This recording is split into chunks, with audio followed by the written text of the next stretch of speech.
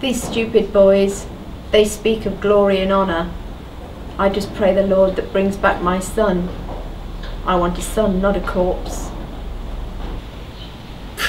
Stupid French bastard. They came the same bloody way, so we killed them the same bloody way. Still, if they're not going to learn, makes my job easier. My Joshua hath gone to war. He hath taken up arms with Sir Richard's men. I know not what happened. I was amongst the midst of our troops. The call went out to draw, and thus I did. And thence we loosen. I heard the slap of a hundred bows, and the humming of a hundred arrows, and within heartbeat, the screams did begin. He hath promised that when he doth return, it shall be with jewels and coin abundant. Of course we picked over the corpses. I'm vintenar. I earn 12 pence a day. I can double that with a good corpse. And I killed them, so their armour, their coin, their jewels, they're mine by right. Because Sir Richard takes his third, well, he put me here. The cry went forth, and we did charge. We followed the men at arms.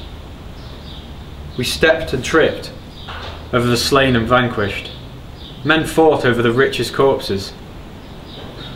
I did find me this.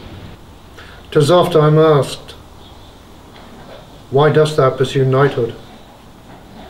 Why dost thou pursue with such fervour honour and glory? Why dost thou tread the field of battle?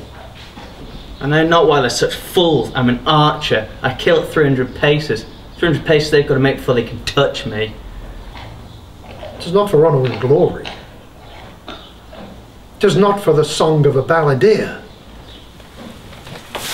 Tis for this. The speak I. Money, geld, lucre. For this, in small shiny form, represents power. It represents what I must have lest another man take it from me. And when the monk does wish for me to have peace, he might as well wish that I starve. For this is worth the blood of any man.